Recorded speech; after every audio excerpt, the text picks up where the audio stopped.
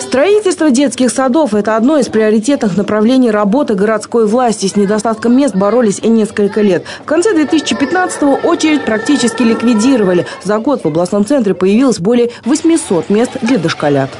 Он вам засвистел и поднял жезл. Вы вот сюда сворачиваете.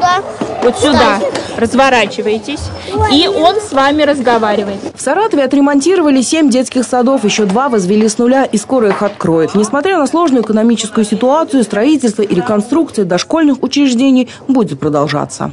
Даже исходя из тех вот экономических трудностей, тех проблем, которые сегодня у нас в регионе есть, в городе, в стране в целом, все равно одно из важнейших направлений – это воспитание молодого поколения подрастающего. Потому что сюда мы практически бросаем все те ресурсы, которые у нас есть для того, чтобы создать все необходимые условия для воспитания детей. Это еще один подарок Саратову от городской власти. Аллея Рост теперь по праву носит такое название. Весной здесь демонтировали несанкционированный рынок. Такое решение вынес суд. Тяжба продолжалась много лет. Точку поставили только благодаря настойчивости главы города. Было принято решение нам э, сделать э, побольше зон отдыха и, в общем-то, засадить ее значит, э, зелеными насаждениями и, как в старые времена, добрые, сделать аллею роз.